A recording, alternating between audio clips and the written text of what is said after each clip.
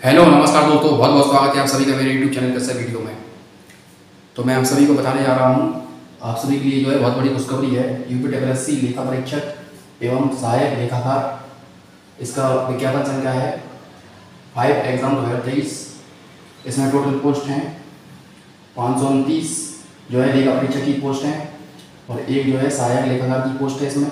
Total मिला के पाँच सौ तीस पोस्ट है इसमें टोटल पाँच सौ तीस पद हैं।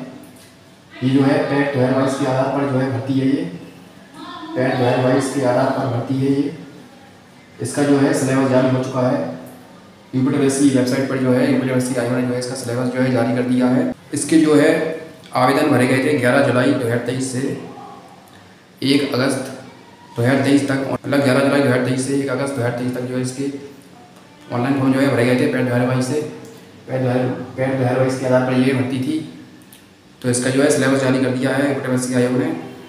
तो इसका सिलेबस मैं बताने जा रहा हूँ, इसका सिलेबस में देखिए क्या क्या है। तो लिखित परीक्षा एक पाली की होगी इसमें।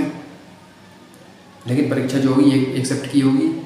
इसमें प्रश्नों की कुल संख्या जो है सौ होगी। तथा समयावधि दो घंटा होगी मतलब दो घंटे का ये पेपर होगा।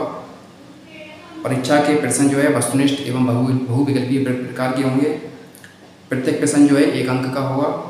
लिखित परीक्षा हेतु ऋणात्मक अंक नेगेटिव मार्क दिए जाएँगे, जो प्रत्येक गलत उत्तर पर उस प्रश्न के पूर्णांक का एक बटे चार अर्थात पच्चीस प्रतिशत अंक होंगे। मतलब एक बटे चार की इसमें जो है नेगेटिव मार्किंग होगी परीक्षा में। तो इसका जो परीक्षा योजना परीक्षा योजना और सिलेबस जो है सिलेबस में बता रहा हूँ इसका जो है सिलेबस जो है इसका, इसमें जो है तीन भाग आएँगे मतलब पेपर में।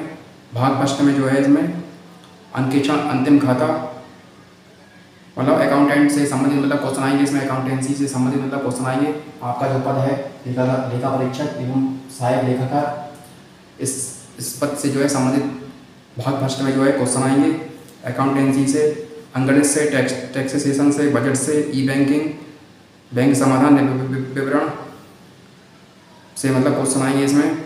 टोटल दो घंटे का पेपर होगा आपका और भाग भाग दो में जो है कंप्यूटर एवं सूचना प्रौद्योगिकी की अवधारणाओं से संबंधित मतलब क्वेश्चन आएँगे इसमें।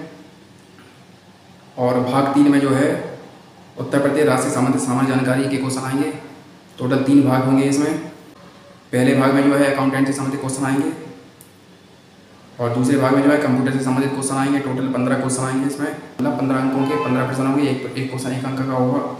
पंद्रह प्रश्न आएँगे पंद्रह अंक के।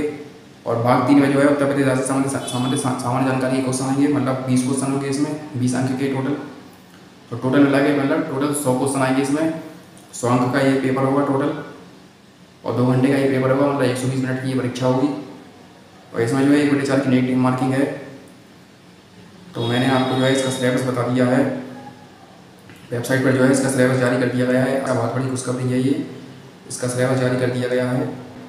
मैंने आप सभी उसका जो है सिलेबस बता दिया है। लेखा परीक्षा एवं सहायक लेखाकार वह धारावाहिक की आधार पर ये भर्ती आई थी ऑनलाइन फॉर्म भरे गए थे। इसकी मुख्य परीक्षा का जो है सिलेबस जारी कर दिया गया है। मैंने आपको सिलेबस बता दिया है।